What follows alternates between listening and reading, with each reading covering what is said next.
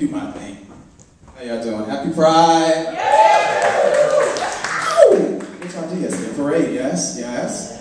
Wow. Loved it. Um, so, yes, I'm gonna, um, my name is Cornelius Jones Jr., by the way. Thanks again for having me here, Marty, and everyone here, all of you guys, everyone at Dixon Place. Um, so I have a one-man show called Flag Boy, and it's um, an autobiographical piece about um, this young boy named Cornelius Jones Jr. Um, and basically, it's a coming of age, uh, coming to terms story uh, about me uh, just growing up and negotiating my way through life. I was born in Richmond, Virginia. Um, a lot of my show takes place there, and you travel with me from Richmond, Virginia to Washington, D.C., and finally here in New York City.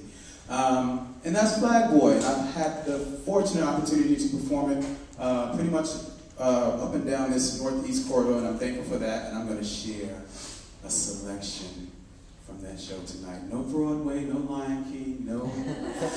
Where has the starlight gone? I'm sorry. Maybe later. No, but um. So this this piece is called Danny.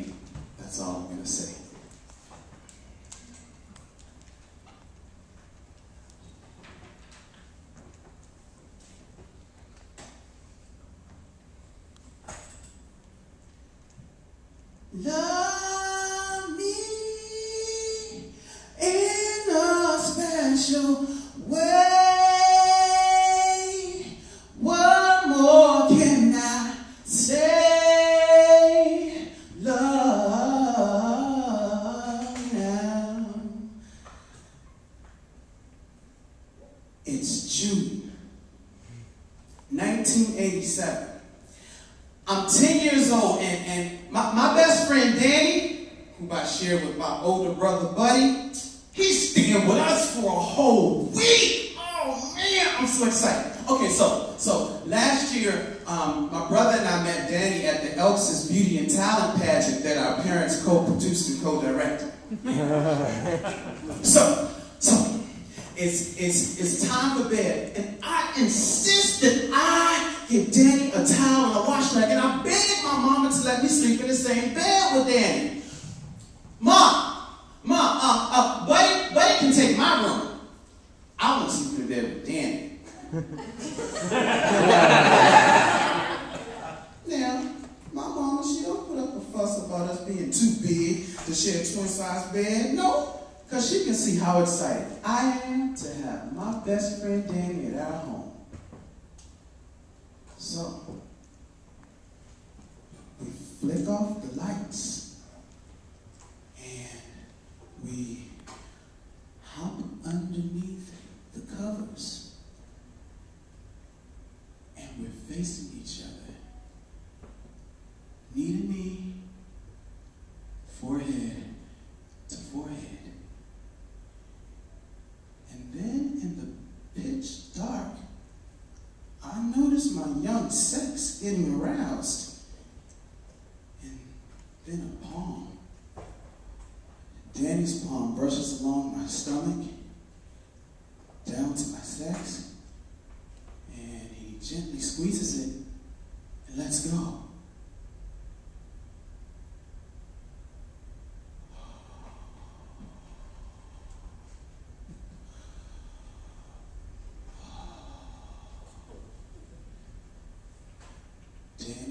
Warm, sweet smelling now and later breath is filling my nostrils.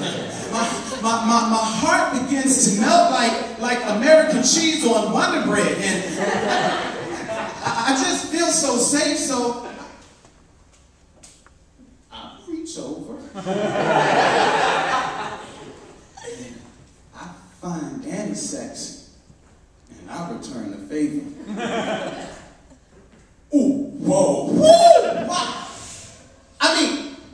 He grew up. No, no, no, no. Now, I remember early this year when my brother grew up because it freaked my mama out.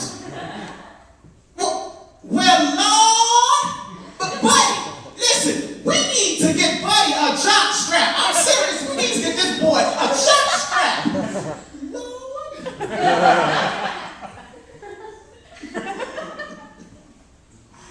puberty paid a visit to Danny just like it did to my brother.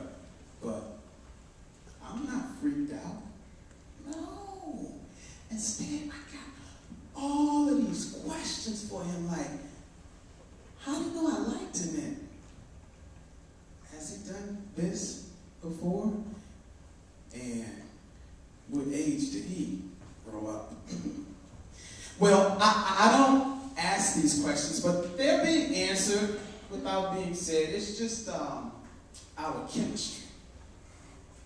And Danny can tell that I'm amazed by his piece because he giggles and reaches over and grabs mine again. And I just feel so safe to be touched by him, even though I haven't grown up yet. Began to just continue kissing and rubbing and touching and kissing for hours and kissing and no tongue, no, just lips. I'm taking in the sweetness of his breath, and he's taking in mine. and then, right, we begin playing this, this little game of revival where Danny plays dead, and I blow into his mouth and revive him, I play dead. Goes into my mouth and revives me. we continue to do this until we get tired and fall asleep.